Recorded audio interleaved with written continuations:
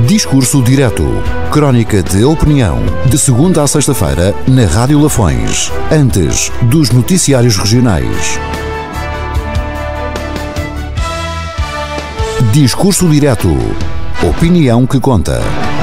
Hoje, edição de Daniel Martins. Desde a minha juventude que sou fã de banda desenhada, especialmente do Asterix, criado por Urdez e Goscinny, de que tenho todos os livros.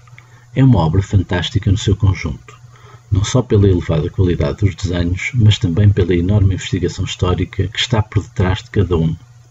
Episódios recentes da vida política da nossa cidade trouxeram-me à memória o livro de Asterix e a Zaragata. Em termos resumidos, a história retrata o cada vez maior desespero de Júlio César, que tarda em conquistar a aldeia gaulesa, a única que lhe falta, e que vive rodeada de campos romanos.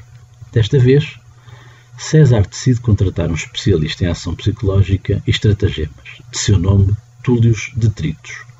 O plano a que este recorre implica valorizar publicamente Asterix, afrontando assim o chefe da aldeia, Abraracorix, dando mais tarde a entender que aquele lhe vendeu o segredo mais bem guardado, a receita da poção mágica. Numa fase inicial, o esquema surte efeito e a discórdia instala-se na aldeia, levando Asterix, Obelix e Panoramix a abandoná-la. Aproveitando a divisão, os quatro campos romanos atacam a aldeia gaulesa. No entanto, o bom senso dos gauleses acaba por reinar e são estes que ganham a batalha, comemorando-a como sempre com um banquete.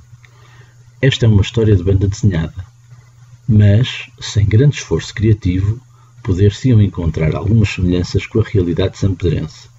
Quanto aos especialistas em ação psicológica, já tudo foi dito, pelo que não vale a pena voltar à vaca fria.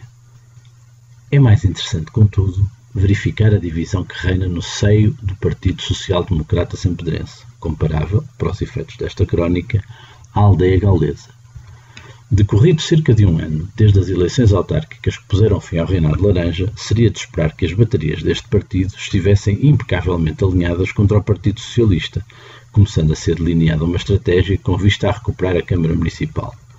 Não é isso, no entanto, a que se assiste. O candidato que o PSD apresentou às últimas eleições elogia o atual presidente pelas visitas que tem feito aos empresários e criticou o anterior executivo, que também integrou. Por outro lado, o anterior presidente ataca o agora vereador do PSD por ter elogiado o atual presidente. Se esta cena se passasse na Gália, certamente que Obelix não deixaria de dizer a sua frase recorrente, agora adaptada aos champedrenses. Estes champedrenses são loucos. Que não se compreende toda esta troca de palavras entre os membros do anterior executivo camarário, lá isso não. Mas que dá um certo gozo, lá isso dá. A continuar assim, dentro de três anos, estarei a dar novamente os parabéns ao meu partido. Até para a semana. Discurso Direto. Crónica de opinião. De segunda a sexta-feira, na Rádio Lafões. Antes dos noticiários regionais. Discurso Direto. Opinião que conta.